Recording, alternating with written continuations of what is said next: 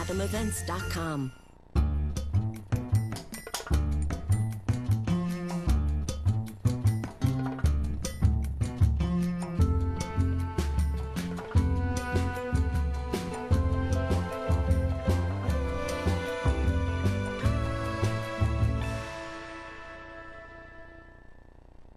Hi there, everybody. Happy holidays from all of us here at TCM. I'm Ben Mankiewicz.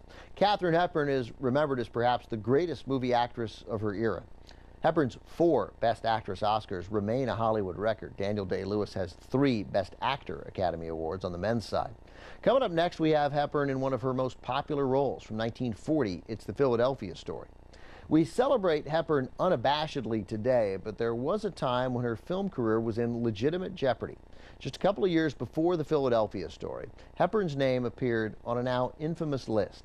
An ad ran in the Hollywood Reporter listing several stars that some theater owners determined were box office poison, and Katharine Hepburn was on that list.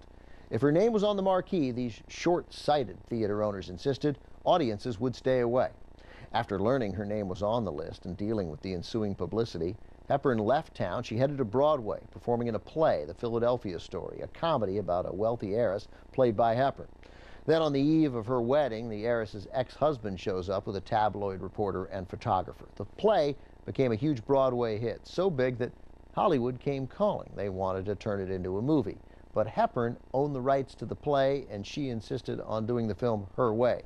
She handpicked her co-stars, Cary Grant and Jimmy Stewart. She picked the director, George Cukor, and together they made a terrific film that became as big a hit in theaters as it was on the stage.